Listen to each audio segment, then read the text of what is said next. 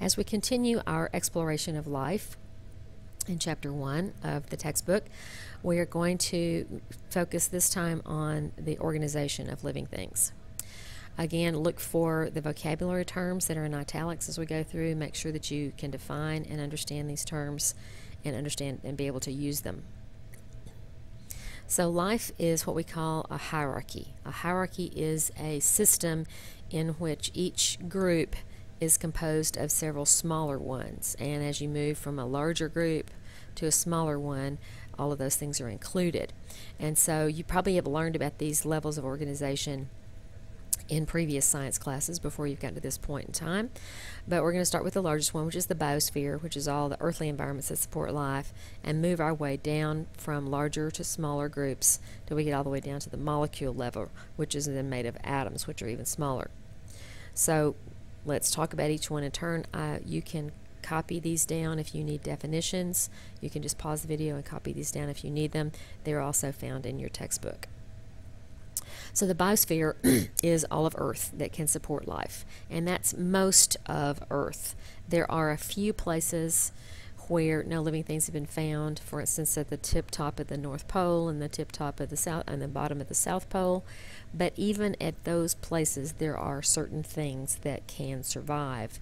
They may not be actively living at the present time, but there might be bacterial spores, for instance, that can be regenerated when conditions are more suitable to their living things. So that doesn't mean that they can't live there. There are organisms on the very bottoms of the deepest trenches of the ocean they're discovering more and more all the time. So there's not really any place that you can say on earth that is inhospitable to life. There are conditions that can support just about life just about everywhere.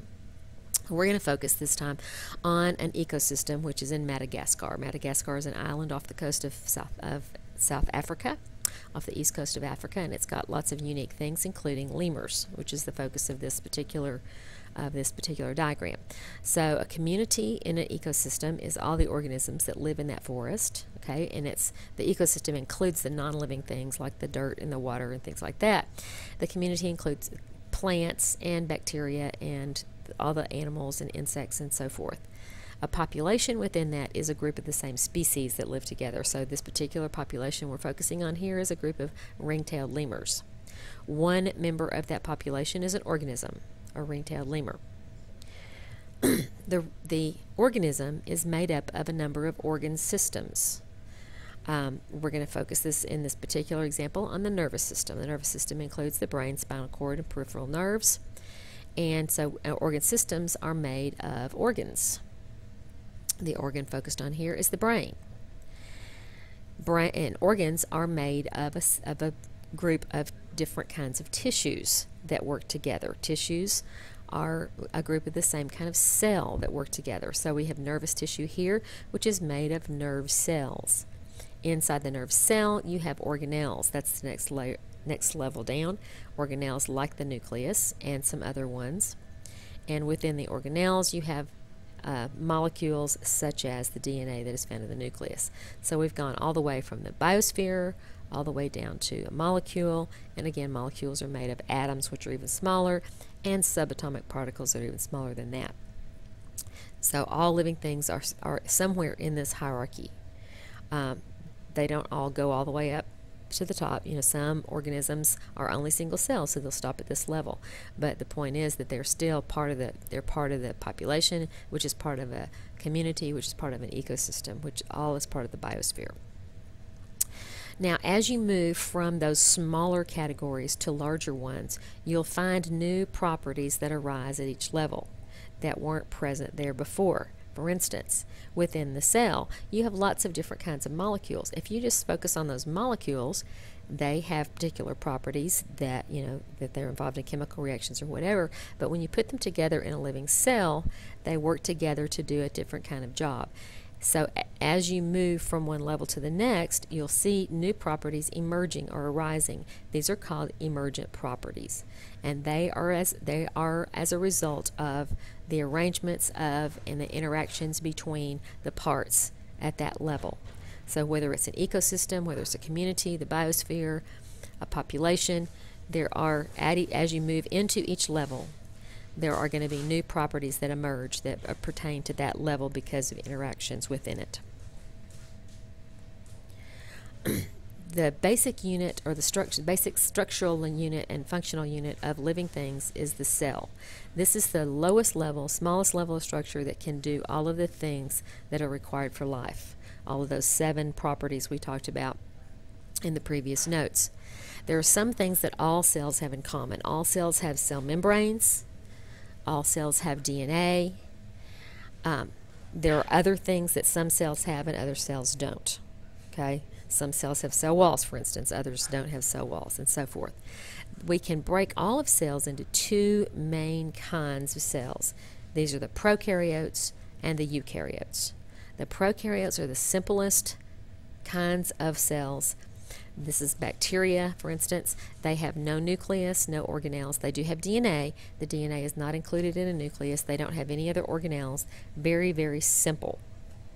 The second basic cell type is a eukaryote. Eukaryotes are cells that contain nuclei and other organelles that you don't find in prokaryotes. Um, when we look at those terms, a lot of terms in biology come from Latin or Greek words. These are two terms that come from Greek words. The karyo part means nucleus, and the pro means before or earlier, and the eu means true. So whenever you see a, something with karyo, something in it, it refers to a cell.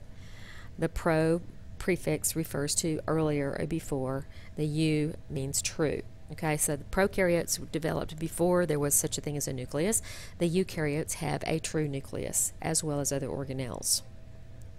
Here we have a picture showing you a comparison between a prokaryotic cell and a eukaryotic cell. This is a bacterial cell, probably an E. coli, which is found in your intestines.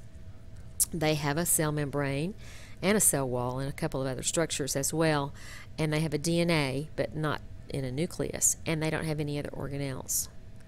A eukaryotic cell, notice how much bigger. These are relative sizes, okay? So this is a whole lot bigger, okay, than the prokaryotic cell. Within this eukaryotic cell, we have we have a membrane, of course. We have the DNA, but the DNA is enclosed in another membrane, make inside the nucleus. And there are other organelles that you find within the cell as well. So, big differences not only in size but also in complexity. And we'll be spending a lot of time talking about cells and their structures and how and their functions. Organisms interact within their environment, not only with other members of their species, but other parts of their environment as well. And there are three main categories of interaction.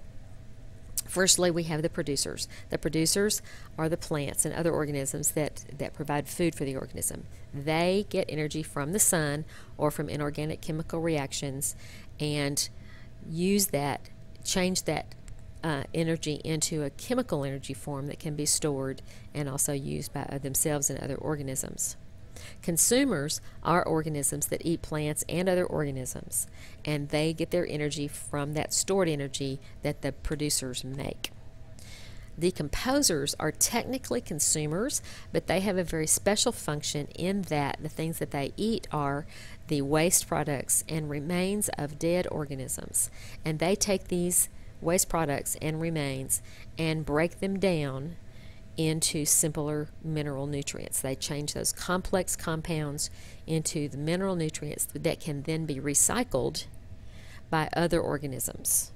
So they perform a very, very valuable function, and so they they deserve because of that because of the valuable function that they have. They deserve a separate category for their interaction within the ecosystem, there are two main processes that occur. Okay, that is the recycling of chemical nutrients within the ecosystem that involves producers and consumers and decomposers, and the flow of energy through the ecosystem. So here's how it works: the energy flows through. Usual, most energy in the ecosystem comes from sunlight. It that is used by producers such as plants to change that energy, that radiant energy, into chemical energy in the form of food that can be stored and consumed. And then the energy is consumed by animals and other organisms. Used, the energy is converted into a form of energy that can be used by the cells, and then some of the energy is released as heat. So the energy flows through the ecosystem like this. The matter is recycled within the ecosystem. Okay, we have the cycling of these chemical nutrients. So we have water and minerals that are taken up by the tree roots, which are used to produce the berries here that are consumed by the lemur. And then when the lemur dies, its remains are decomposed in the soil, and those nutrients that are in complex compounds here within the organism are made simpler again, recycled, and used over and over again uh, within the ecosystem.